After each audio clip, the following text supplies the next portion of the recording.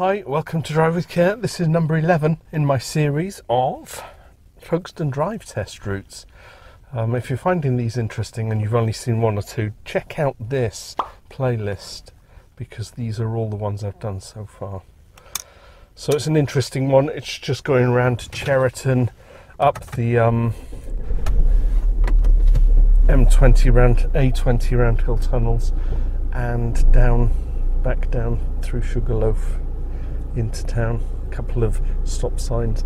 By the way, the stop sign, someone commented on my last drive test route that I didn't actually stop at a stop sign.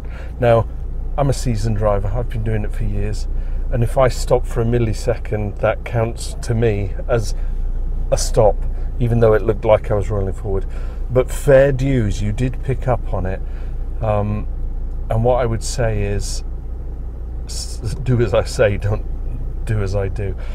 I will make sure that I stop and give it at least five seconds before I pull off because that's what is expected, isn't it? You should come to a complete stop, not because it's not a give way. On a give way, I would approach, I'd be looking, I'd say, oh yeah, there's nothing coming, and I'd carry on. But on a stop, and it's usually because there's obstructions, you can't see properly. Anyway, let's get on with it. Test route 11. Let's follow the instructions on the um, voiceover. See how we get on. At the junction, turn right.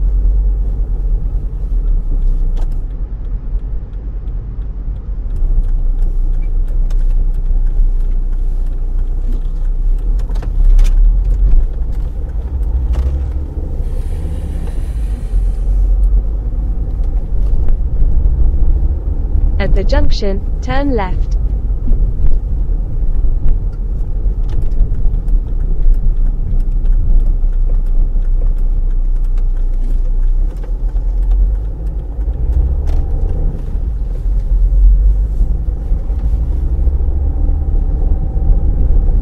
At the junction, turn right.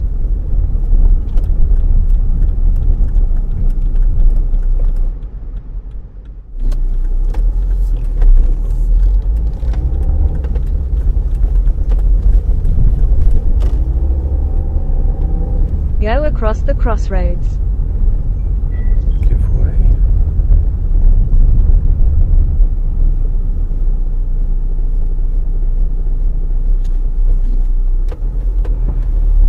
Tricky ones these because they're quite wide roads and with all the vehicles parked on both sides you sometimes just you have to be careful pulling out.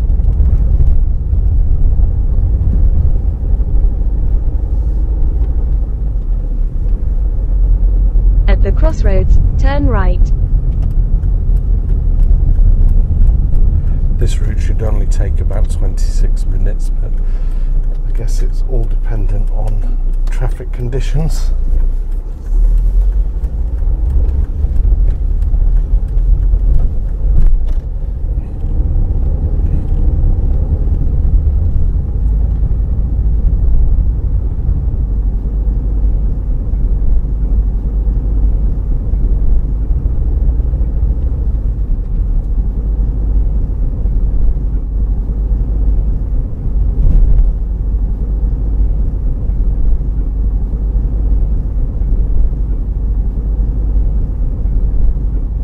The junction, turn left.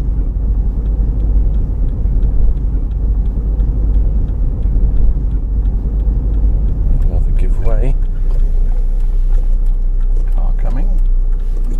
Nothing to the left. Always check for your left because you might say, I'm looking to the right, it's all clear, and you pull out, but there's actually an obstruction on the left. The car that just passed has suddenly stopped, that kind of thing.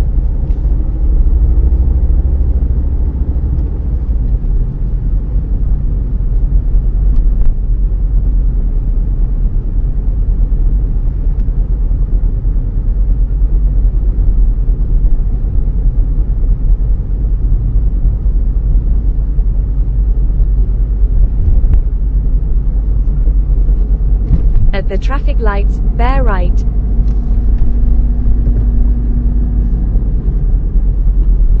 Just keep clearing the road, so I'm not going to block it up. It's only for someone's drive, but you don't want to be stopping on a keep clear on your test, do you?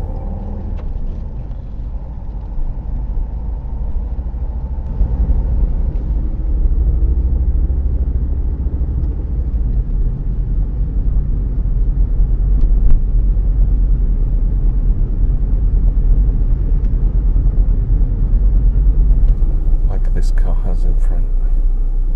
Half on and half off.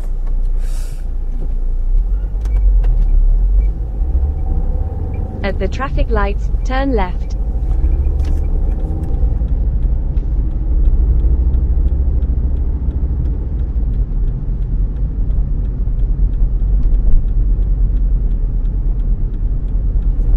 The old high street.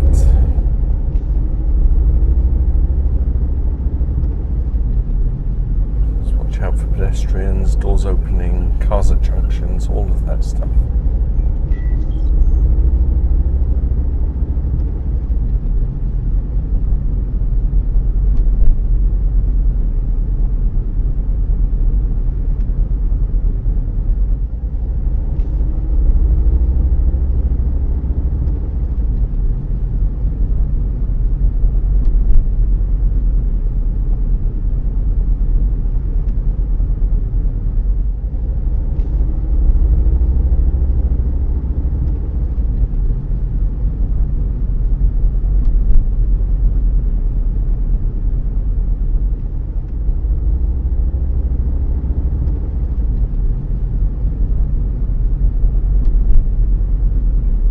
Pedestrian. Take the next right.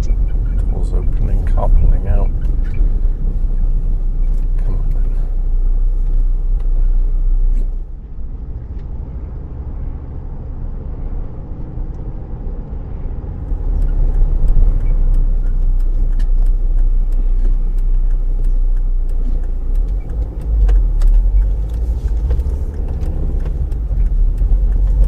Take the second right.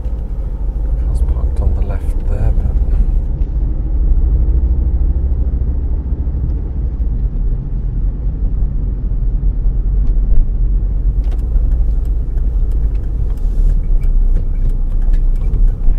wow, takes us into suburbia where we will find kind of a single carriage, cars parked on both sides.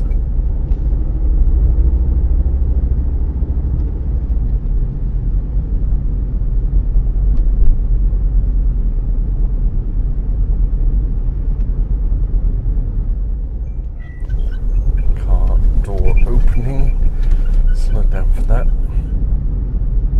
Take the next right.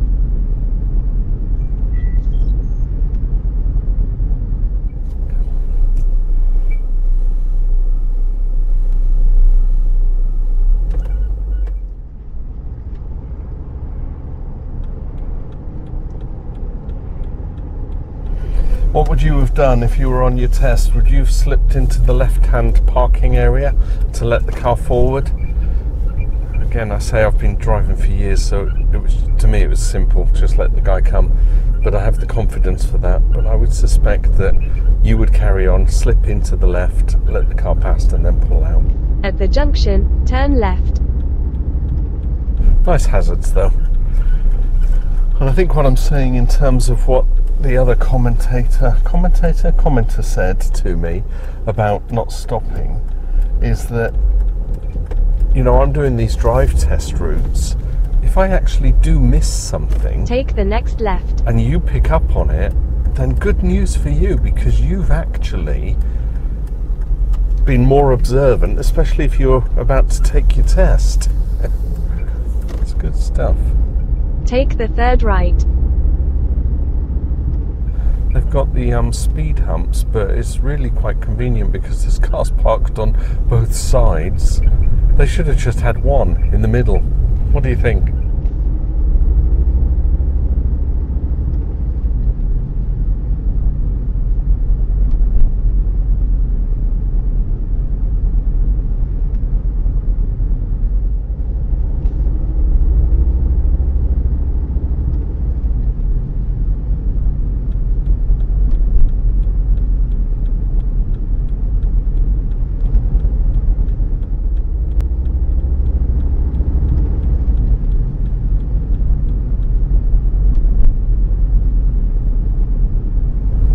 Trying where I can to, you know, remove the squeak because I can overlay audio section that hasn't got squeak. The car is booked for the 10th of July to have the strut repaired. Yay!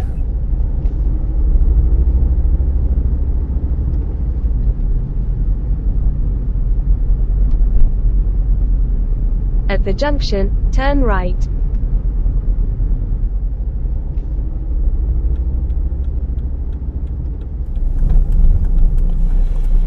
Give way. Nothing to the left, nothing to the right.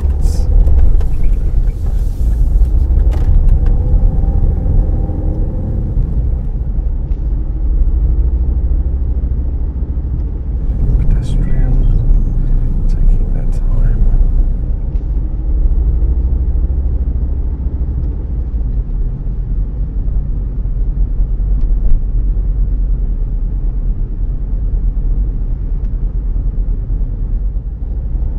At the traffic lights, turn left.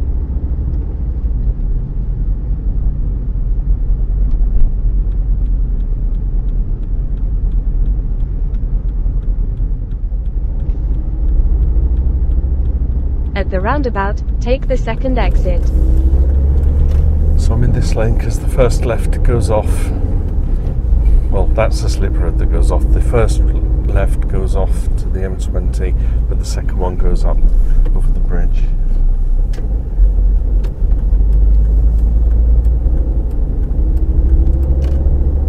At the roundabout, take the second exit.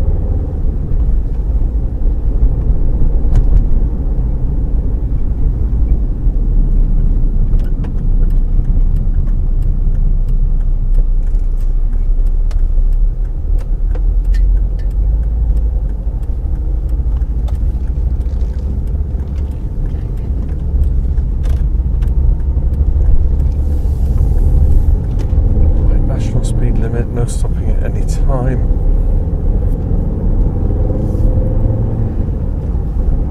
Gonna speed up to 50 at least, or to match the oncoming traffic. There's a truck coming, but it's far enough away that I can slip in.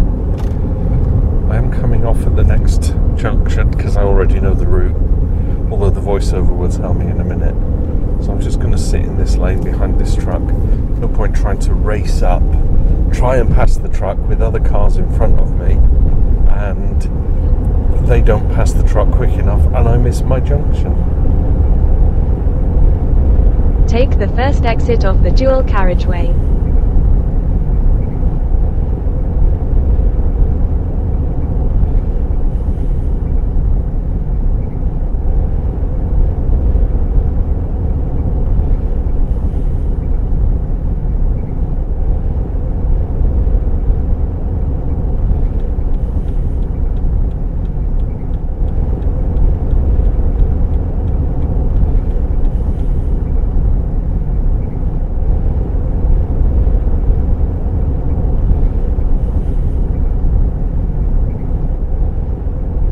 At roundabout, take the first exit. So stay in the left lane because we're taking the first exit.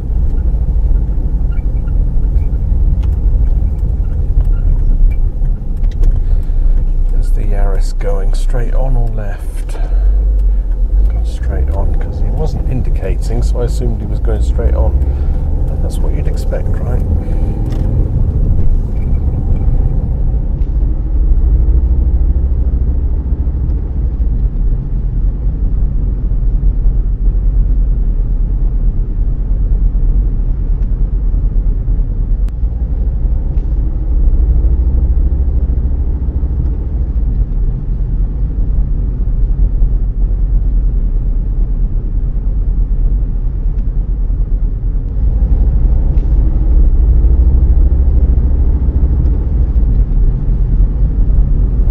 Now, this is a 50 zone, and I guess you're expected to reach 50.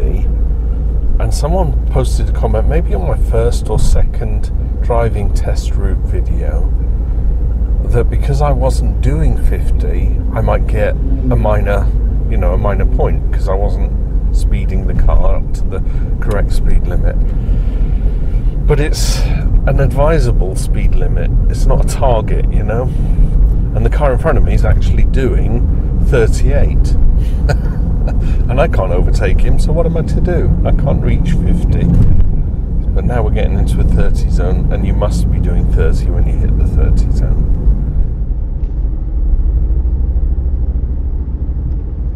At the roundabout, take the second exit.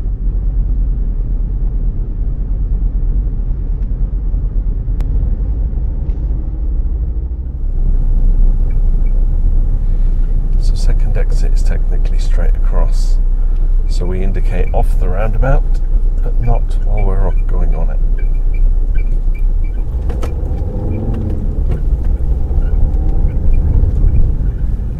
Taxi driver indicate? No, of course not. What do you expect?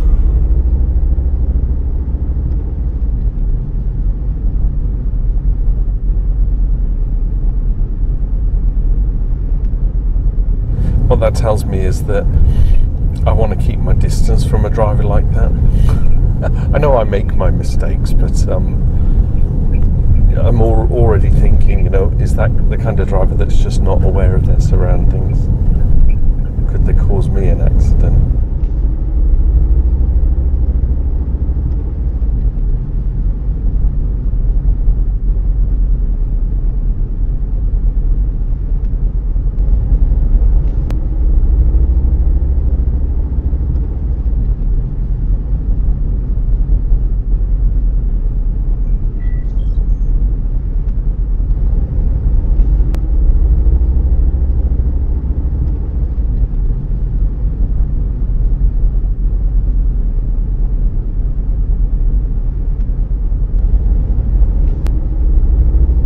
Now We've got a car loading on the pavement, on the double yellows, cleaning windows by the looks of it.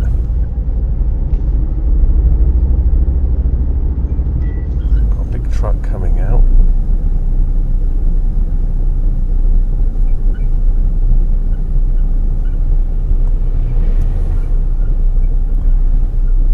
Pedestrians, cyclist on the pavement. Right.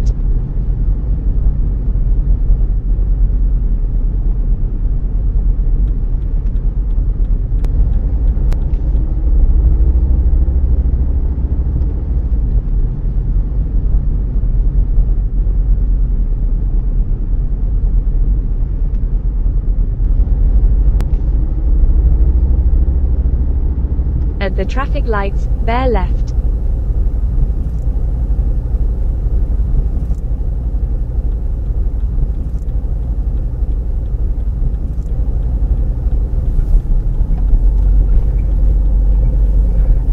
Few obstacles up here. There are a couple of pedestrian um, crossings, zebra crossings.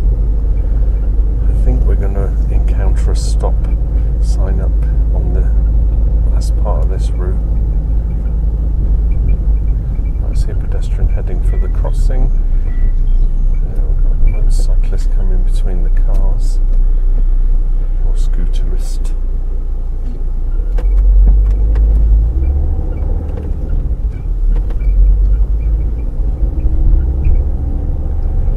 It's all right to stop at a zebra crossing when you're third or fourth car along because the hazard is already there and the cars in front are aware of it. But if you're the first car, then keep your eyes peeled for pedestrians crossing. At the roundabout, take the first exit. Taxi driver's indicating now. That's good news. Switch that indicator off so people don't think I'm turning left there. Take the next left.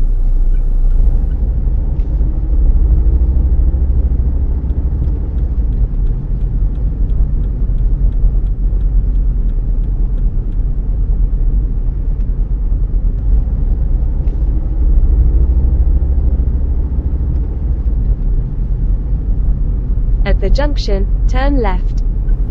It is a left-hand turn anyway, but I am indicating because I like to let people know what I'm doing. But I'm not sure if you need to consult your dr- driving school. Ask them.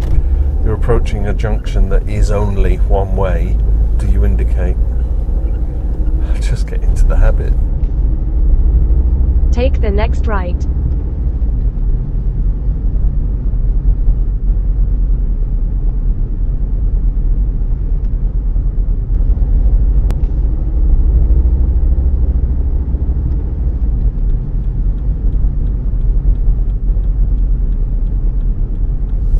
Right, we're going to go in here, but it's a one-way system, so that's good. I was wondering if there was oncoming vehicles because of the truck parked on the corner, but it's one way.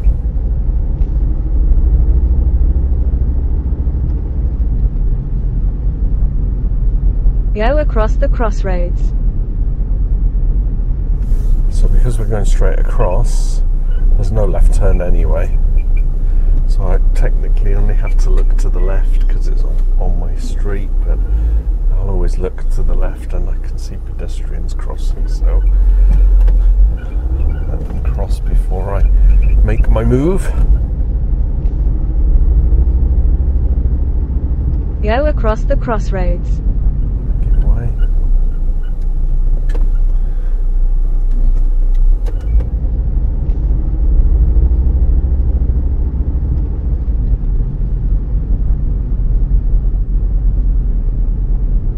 Go across the crossroads. Bumpy, bumpy, bumpy.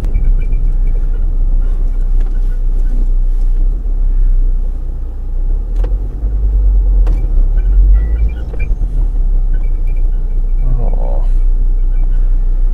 My vision was obstructed by the Mercedes, so I didn't see the other car coming.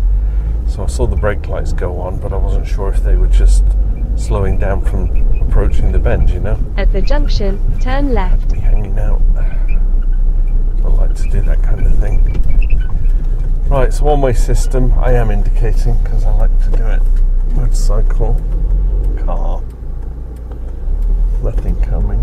Still checking my left to make sure nothing's stopped before I pull right out. At the roundabout, take the third exit. Car coming round with no indicators. Did indicate off though. That's why indicators are important because I need to know what that car's doing when it's on the roundabout. Because I could be sat there thinking, is it coming round? Is it not coming round? And then it drives off the other exit, and I'm like, "Oh, if only it indicated, I could have pulled off. but they came all the way around, you see. Take the next right.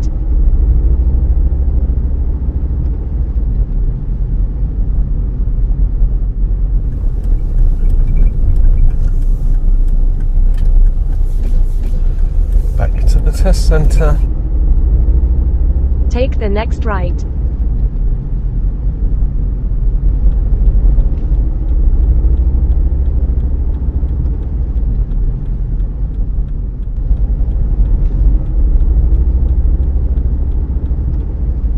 Take the next left.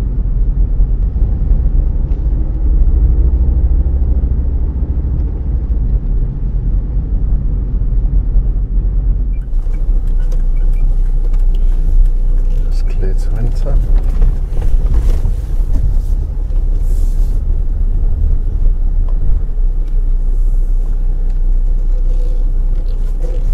Let's just stop here because this is convenient. There you go, driving test route 11. Quite a few things caught me out there, um, apart from the squeak, which will be fixed soon. Um, when I was crossing those last sections of crossroads, and I nearly just went for it, but there were some pedestrians crossing. So, because I was so busy looking left and right, left and right, I wasn't looking ahead. So keep looking ahead as well. And then I entered into the other junction. The Mercedes had pulled round, and I wasn't anticipating it stopping, and it didn't leave me enough room. I think the back end of my car was kind of hanging out on the junction there. Anyway, drop me a comment. Let me know anything that I actually missed or didn't do right, if that makes sense. Because that shows that you, if you're watching this because you've got a test looming, are aware of all the, the hazards and the observations and all the things you've got to do.